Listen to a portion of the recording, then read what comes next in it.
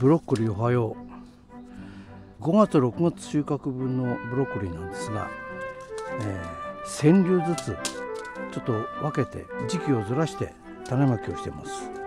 今日はその3回目になります。前回の残りの種が12345 7粒ありますね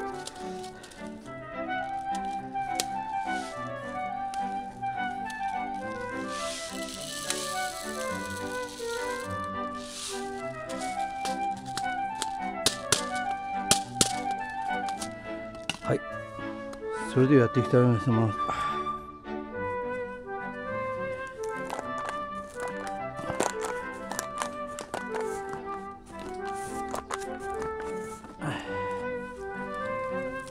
はい。じゃあ早速行ってみます。